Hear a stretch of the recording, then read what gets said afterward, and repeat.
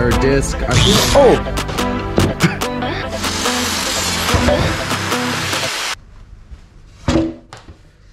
God damn it.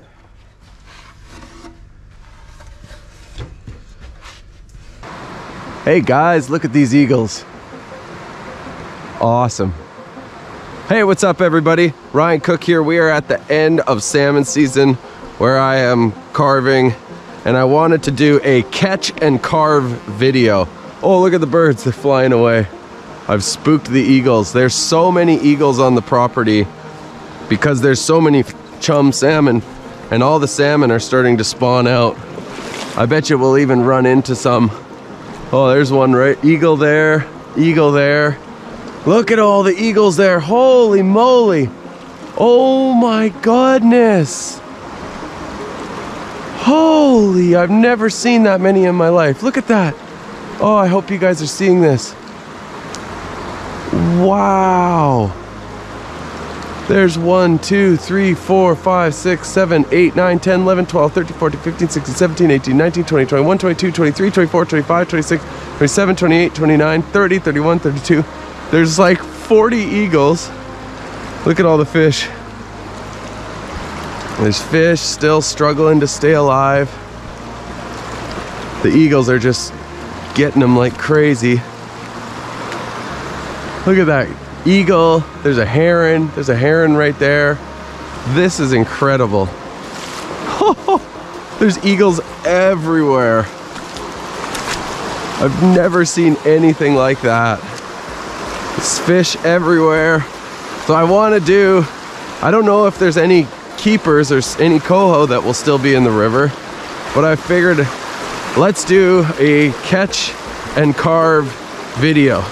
Woo! We're gonna catch a fish and then we're gonna carve it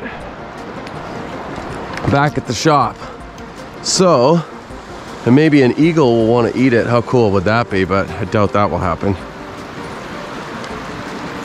We're here in Squamish, British Columbia. It'd be awesome if we do this all in one take. Just catch one right away. I don't even know if the fish are still in, but we'll find out real shortly here. Because that would be awesome if we just snapped right into one. There's eagles everywhere. This is incredible. I've never seen anything like it. That is so cool. Oh, a fish just surfaced right there. So there's chum in the water. Come on, baby. So what we're gonna do is we're gonna catch the fish, hopefully, and then we'll take a picture of it. We'll go back to the shop, we'll template it out, and then we'll carve it up. And the thing about, yeah, got one. Nice. Oh. Oh, it's a nice coho. Look at this. Amazing. Just what the doctor ordered. awesome. Come on, little fella. Look at you. You bit it and everything. Oh, what a beautiful fish. Come here, buddy. Come on. Yeah, perfect. Come right up there. Nice. Look at you. Look at you, buddy. That is awesome. So, that's what we were looking for. We're gonna get a nice picture of them. We're gonna get them, keep them in the water. You're okay, buddy. Don't worry, you're going back. You're going back, don't worry. We'll get you right back, buddy. We gotta get a picture of you. Oh, it's okay.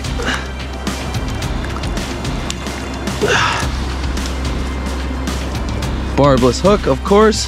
I'm gonna do the worst thing ever and put my rod on the rocks. And we're gonna get my phone out quickly and we're gonna snap a picture. Where is my phone? I thought I brought it.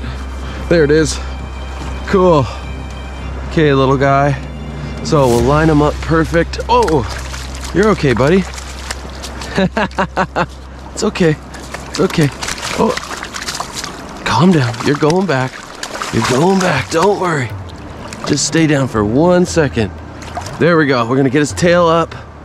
Nice fish. And there it is. Perfect. We got the picture we need. I'm gonna put his tail up a little bit just for the template so he's like swimming up the river. And then we'll get him back in the water and release him and get him back to the shop. Oh, calm down, buddy. I got you. There you go. Oh man, I hope this is filming. Okay. Yeah, it is filming. I hope that that worked. So, we just caught a coho and we are now got the pictures. So let's head back to the shop. We're going to carve one out. We're gonna template it. I'm gonna talk about templating and then carving a salmon. A, uh, a wild coho that we just caught. Welcome to Ryan Cook Carving. This is the catch and carve. Awesome. Yahoo! Look at all the eagles. It's insane. Bet you those guys wanted that. Okay, we're back at the shop and now we're gonna go. I've got this projector here. We've talked about it over the years many times. Amazon, Bluetooth, probably at this point outdated and I need to get a new one. I am going to look for a slab here in the shop. Got my new treadmill, real nice. And uh, see if we can find something that'll be nice. This thing's gotta be a little bit bigger than this. And this could work. Uh, it's too thick. But this could work if it's thick enough. Oh, this is a slab I got from Pete Ryan after he passed. His wife sold me this slab. So this would be the perfect thing. So what we're gonna do is use this. I'm gonna get it set up right now. We're gonna get carving. I'm gonna blacken the shop out and then we're just gonna project this fish I might alter it a little bit. This isn't the perfect profile, but we're gonna take the same species and then we're gonna put it onto uh, there and then we're gonna get it set up on the jaw horse and then we're gonna block it out, finish it out, and we're gonna make a really nice fish. And we might even put a name inside the middle. I can't remember if that's what's uh, part of the commission or not, but whatever, we're doing it. So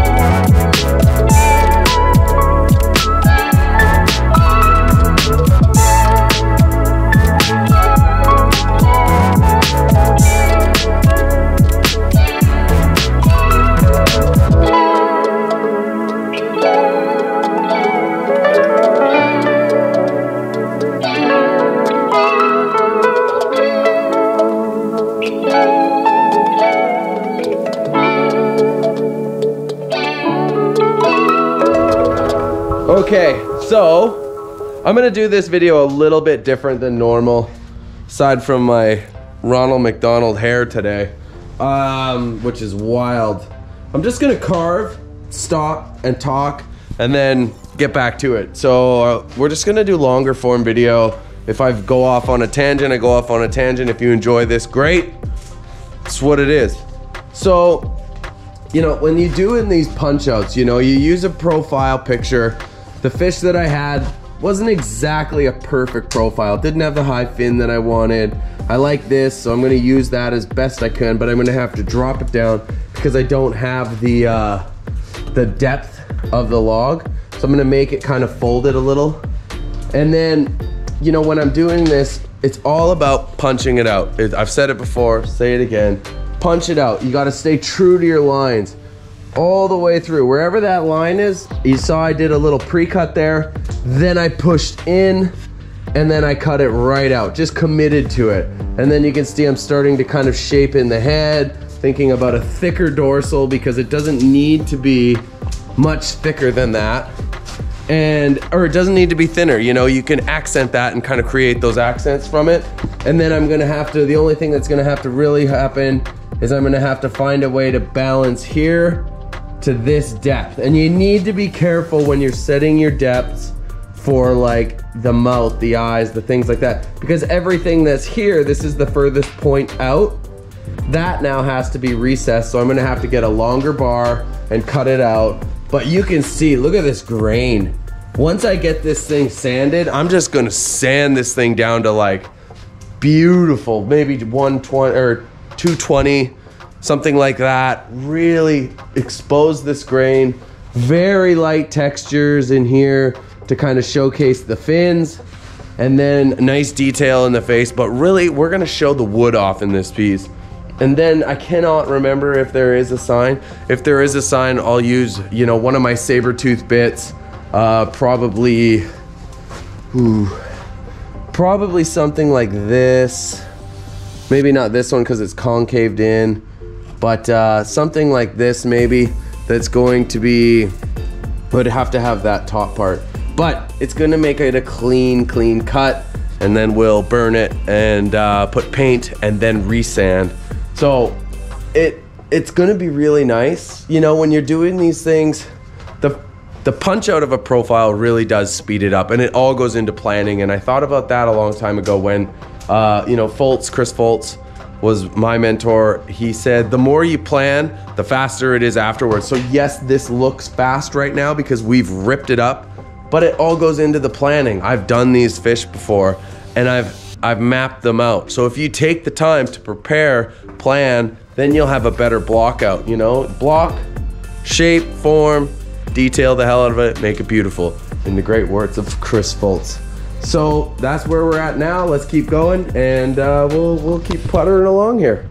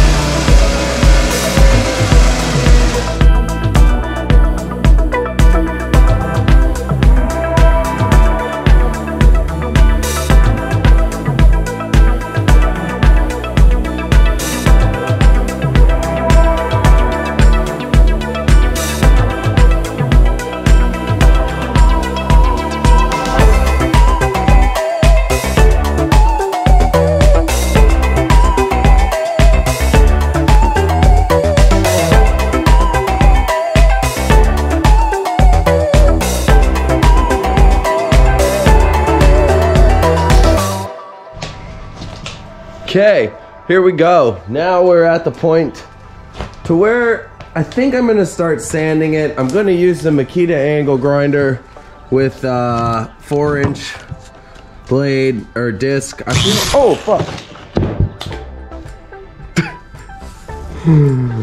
That's why I don't like the paddle grinders. I got this and I totally forgot.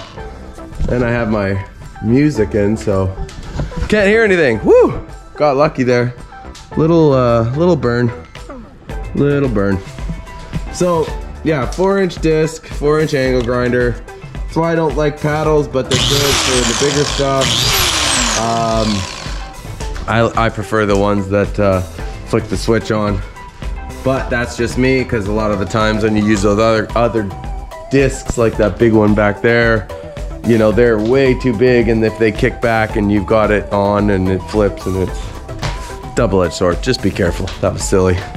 Um, yeah, so one thing too, you, you might notice in my, uh, I was just about to show you, is I put two of these back to back. So I'll use an old one that I've already kind of done and uh, used, and then I put the new one on top of it, and, and it works great. I think that's a, a great way for me to maintain the strength of the disc, because if you have the wrong size disc, it will hurt you and it will break and you have to be very careful with that. As you just saw, you know, you can't script that stuff. So now it's got a nice shape. I was thinking of using the saw to kind of, you know, shape it out. You saw me doing that there. That's why it's rough here. And you don't have to worry about this roughness as long as you look for clean lines. You know, like here, I can see just by looking, there's something here.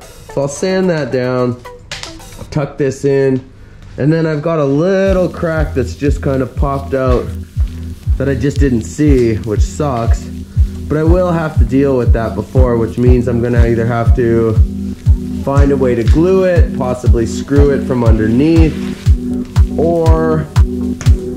maybe get a clear drying wood glue, widen it as much as I can, and then uh, widen it as much as I can, then clamp it down and relaminate it or completely break it off. But regardless, I will have to fix that and address it. So now we're moving into detail. We're gonna use the grinder.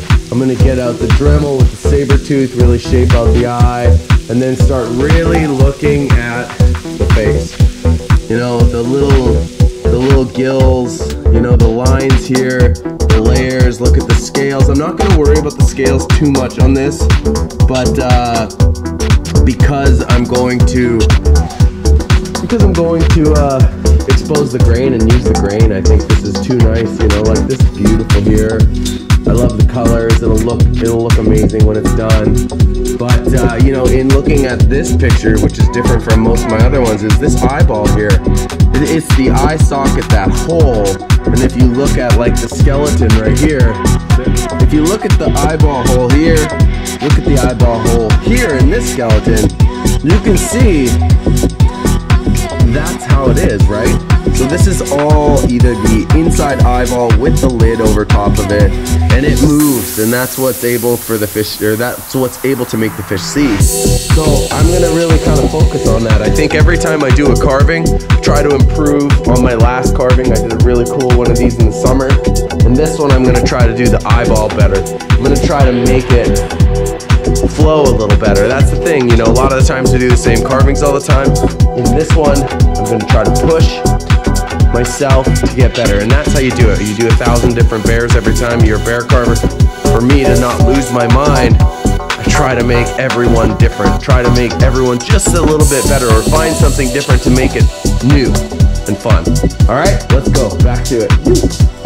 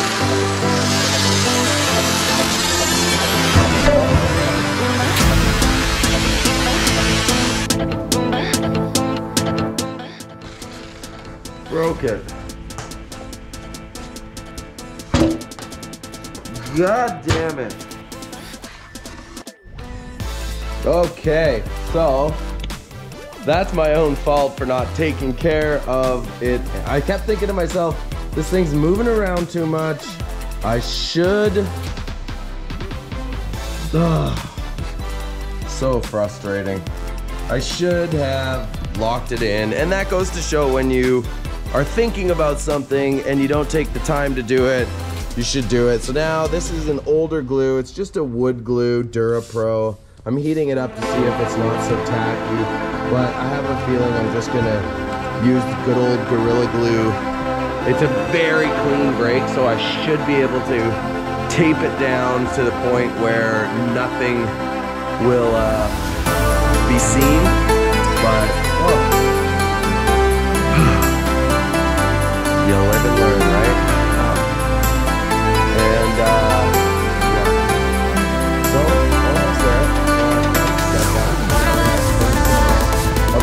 plug it away, I'm going to glue it, and then I'm going to tape it down. It's a very clean break.